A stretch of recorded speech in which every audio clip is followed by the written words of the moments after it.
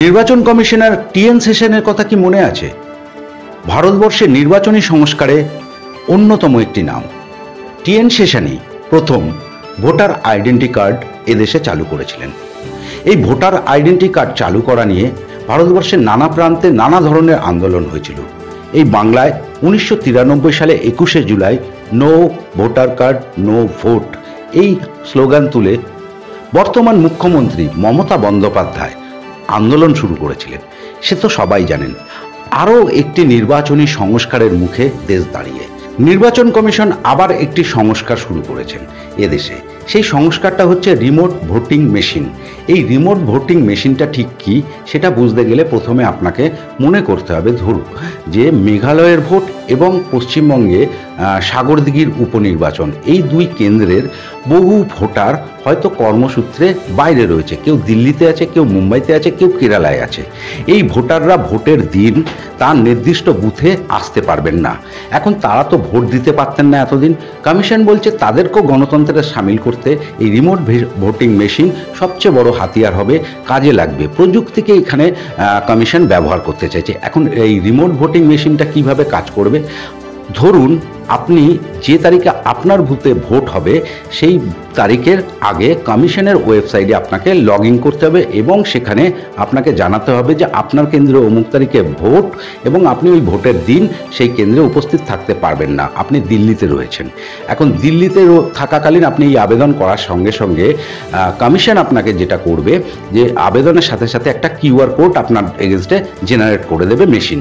সেই কিউআর কোডটার সাথে আপনাকে পরবর্তীকালে কমিশন ঠিক ভোটের আগে জানিয়ে দেবে যে আপনি দিল্লিতে যেখানে রয়েছেন, তার কাছাকাছি কোথাও একটি বুথ কমিশন তৈরি করবে যে বুথে রিমোট ভোটিং মেশিন বসানো থাকবে।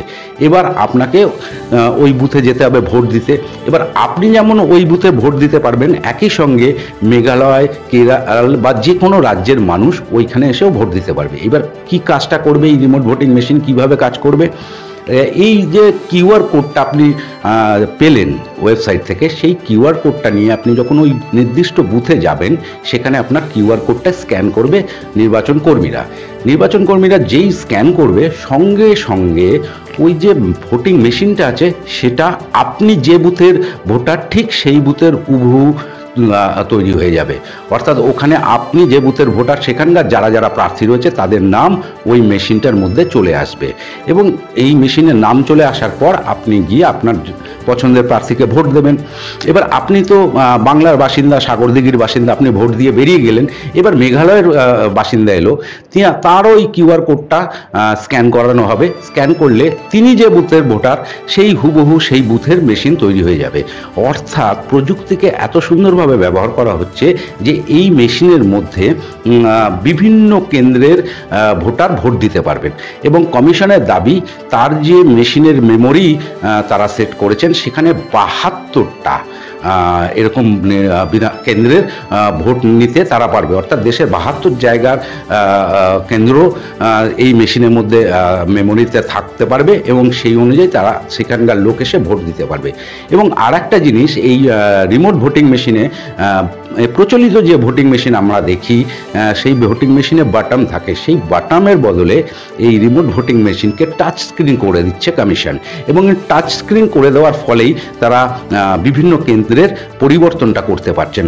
অর্থাৎ মেমোরিকে ব্যবহার করে, প্রযুক্তিকে ব্যবহার করে রিমোট ভোটিং মেশিনটা তৈরি করা হচ্ছে। তার সাথে আরও একটি বিষয় থাকছে। আপনি যখন ভোট দিলেন, আপনি তা আপনার পছন্দের প্রার্থী এগেনস্টেই ভোটটা পড়েছে কিনা, সেটা দেখার জন্য ভিভিপ্যাড মেশিনও পাশে থাকবে এবং সেখানে প্রিন্ট আউটও বেরিয়ে যাবে।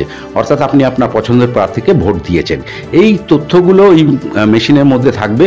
যখন গণনা হবে, তখন এই তথ্যগুলো আর পাঁচটা ভোটিং মেশিনকে যেমনভাবে আমরা গুনি, ঠিক এখানেও সেইভাবে গুনে ফেলা হবে। এতে যে লাভটা হবে, যে করোনাকালে আমরা দেখেছিলাম লক্ষ লক্ষ পরিযায়ী শ্রমিক বিভিন্ন রাজ্য থেকে বিভিন্ন রাজ্যে যাতায়াত করছিলেন। অর্থাৎ বিপুল সংখ্যক মানুষ ভোটে সামিল হতে পারেন না। শুধুমাত্র তার বাড়ি থেকে বহু দূরে থাকার জন্য কর্মসূত্রে ক্ষেত্রে বিভিন্ন প্রয়োজনে সেই সব মানুষও যাতে গণতন্ত্রে সামিল হয়ে ভোট দিতে পারেন, তার জন্যই কমিশনের প্রস্তাব হচ্ছে এই রিমোট ভোটিং মেশিন বা আরভিএম।